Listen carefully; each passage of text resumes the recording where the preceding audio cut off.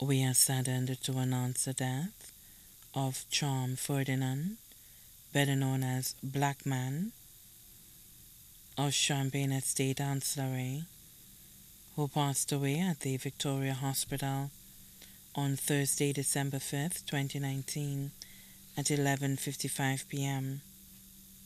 He was 35 years old.